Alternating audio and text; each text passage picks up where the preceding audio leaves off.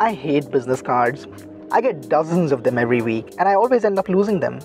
What's worse, it's impossible to find the one I want when I want it if I haven't already saved the information to my phone before. Oh, very nice. Picked them up from the printers yesterday. Seriously, what is this, 1991?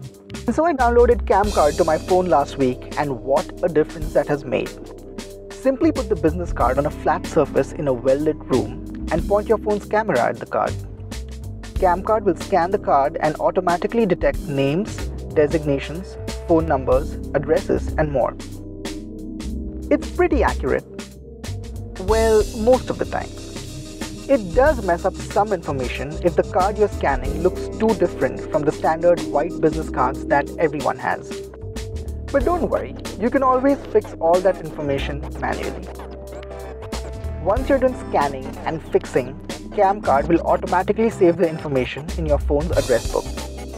It will also store an actual image of the card so you can go back and refer to it if you feel like.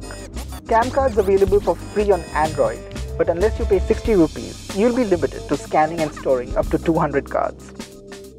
On the iPhone, it's 60 rupees upfront for unlimited scanning and storing. It's worth it. Well, you see, Mr. Wonka, I myself am in the nut business. You're really weird.